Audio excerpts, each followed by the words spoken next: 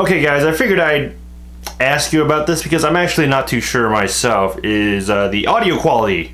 Right now I have my uh, mic plugged into, or my microphone plugged into the camera right now, so the audio has that echoey effect, but it's also a lot louder that you can, you know, hear my voice. So I wanted to know uh, between me having this mic hooked up and me not having the mic hooked up, which one sounds better. So right now it's hooked up currently, and so I have this really ghetto setup right here.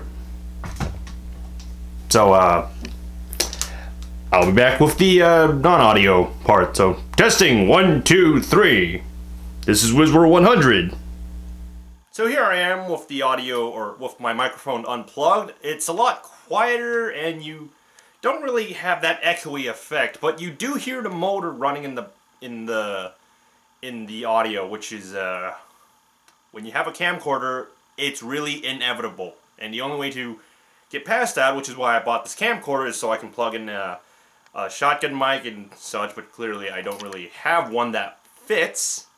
So I've been trying to look for a much, much better one. And so far, this uh, my standard their standard desktop microphone is it's so it's okay, but you know I want to hear what you guys uh, think about it because um, depending on you know how on what your response is to this, it will really affect the future videos of this cam, of this uh, live action uh, with my camcorder because of either plugging in the microphone to hear me but have this much louder echoey voice or have it uh, where you hear the motor in the background if you listen to it. It's really annoying. That's kind of why I play music over it.